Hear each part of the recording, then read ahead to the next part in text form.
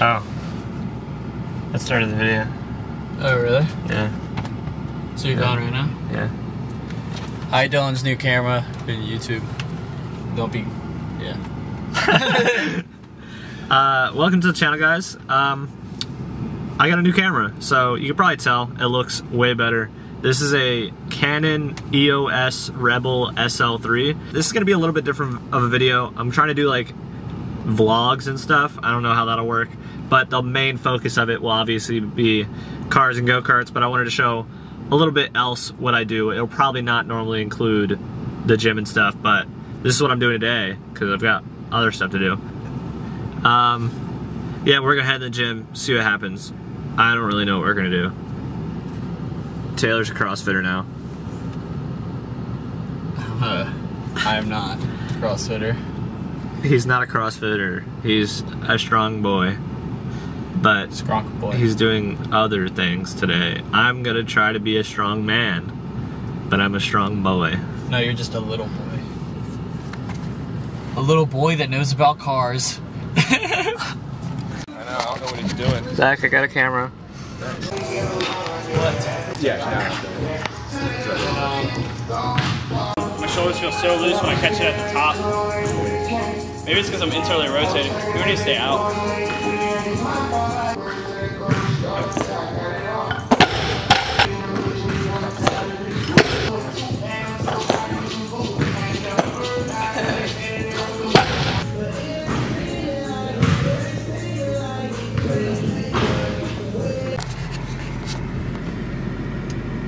Where are we going, Butner, baby? Hold me. Pull, pull me, baby. Tay Pole. Tape away. Are you filming? Yeah. Dang, I look fat. Really fucking, you look good, bro. That's actually really good quality. Isn't that crazy? New camera stuff, bro. Will it give me a girlfriend?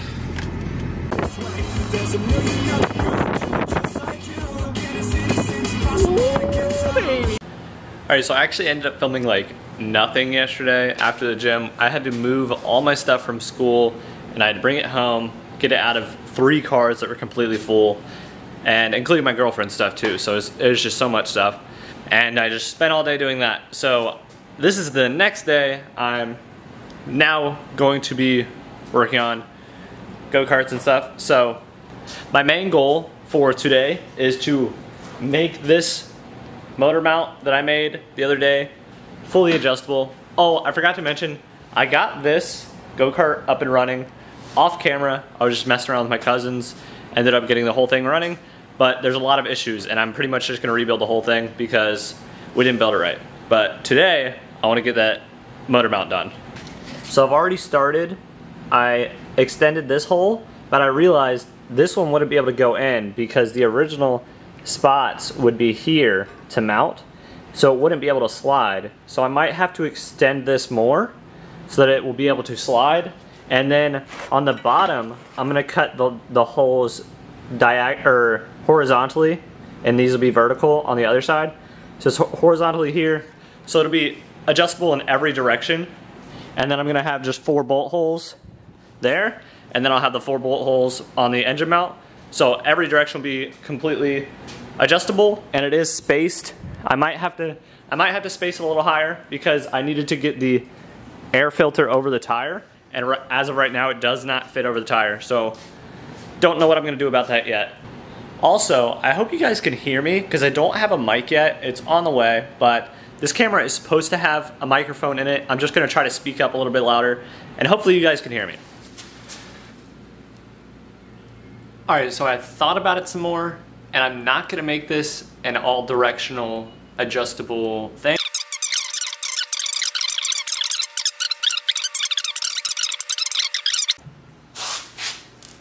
So, final plan, I've decided to weld everything on uh, just because it's pretty much in the right position. And I'm gonna use this piece. I've, you can see the angles I drew in here. Same with this piece.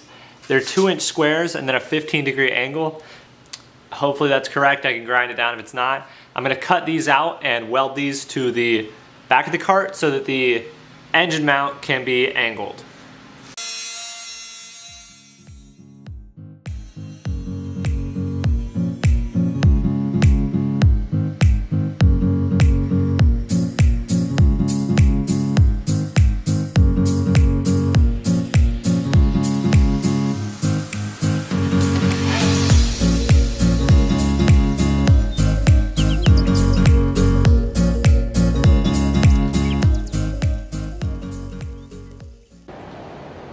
Alright guys.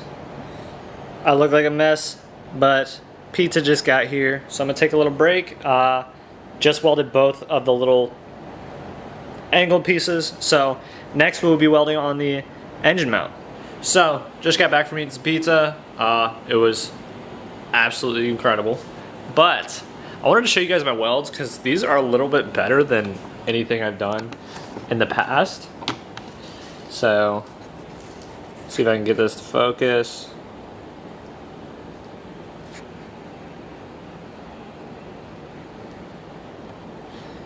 So this one looks a little bit better on camera. I think this one looks better in real life though. These are definitely two of my better welds. My, not my best, but better. I'm getting better. That's a great thing. Um, and I'm still not using gas, so I think it is a little bit harder, I'm not sure. But we're gonna go ahead and see if we can get the mount on, and then we have the engine to put on, and we also got a new chain. Butler, baby! Hit it, Taylor. Hit it real good.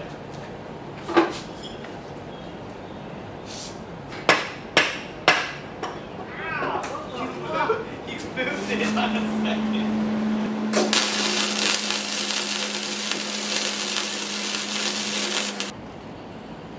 So I just painted the mount and all the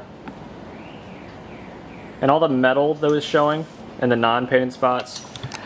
I did this to prevent like surface rust and make sure just it kind of stays undamaged. But right now I'm gonna wait for that to dry. But I also got a new chain, so we're gonna start messing with that. And we need to take the old chain off, and that one actually doesn't have a connector, so we're gonna have to break it because I don't feel like taking everything off and it was just it was just really difficult last time. Almost broke some stuff. So i'm just to break it and we can put the new one on. It has two connectors if i ever want to use that chain again. The new one does so no problem.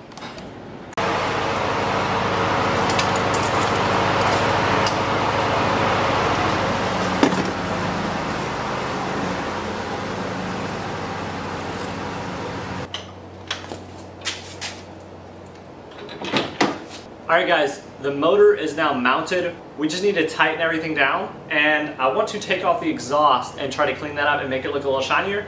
And I can put the intake on now too, just to make sure it fits.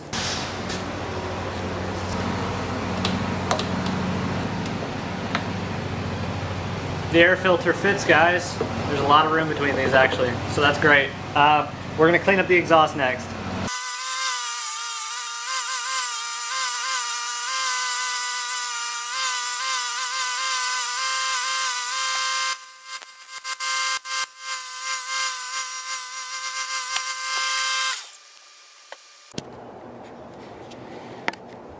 So the stage one Predator engine is now on the go-kart. If you guys were wondering, it is a stage one Predator. Um, I bought it like the way it is, so I'm not sure if it has the springs done. I'm sure I'll check one day uh, and replace those if I need to. But here's what it looks like right now. This looks way better than it did. The exhaust looks good. The intake fits well. This was tapping too, and that's got plenty of room. All because I all because I spaced out the engine mount and made it a little bit angled. So everything works great, but I couldn't do you guys a video without at least starting this. And in the past, the past two out of three times that I've started this engine, it shot flames the first pull. So let's see what happens. I hope it does. If it doesn't, it might not, because the last time it didn't, but we'll see.